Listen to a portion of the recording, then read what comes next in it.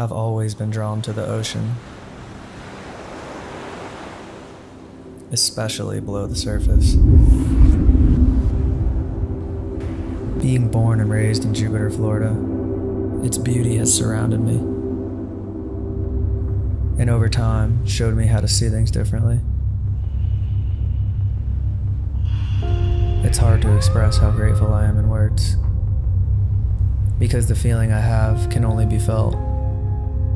Nature is the perfect example.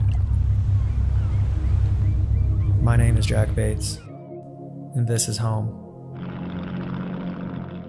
I'm facing back to front. Over my shoulder at the sun. And it's an open door. And off my line of sight and smoke.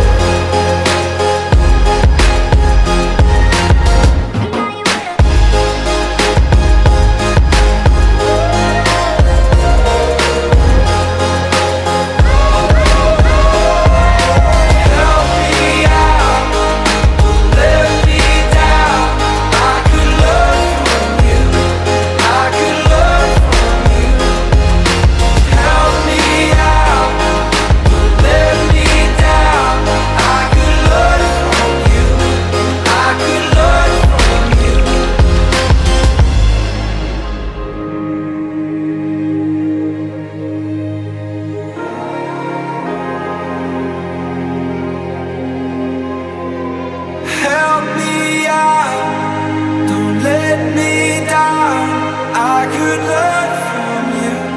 I could learn from